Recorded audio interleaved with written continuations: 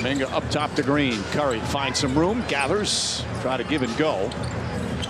Podziemski back in. Good to see Podziemski Took a shot in the face early on as Curry knocks down the three, his third three-pointer. Curry never stopped moving on that whole possession.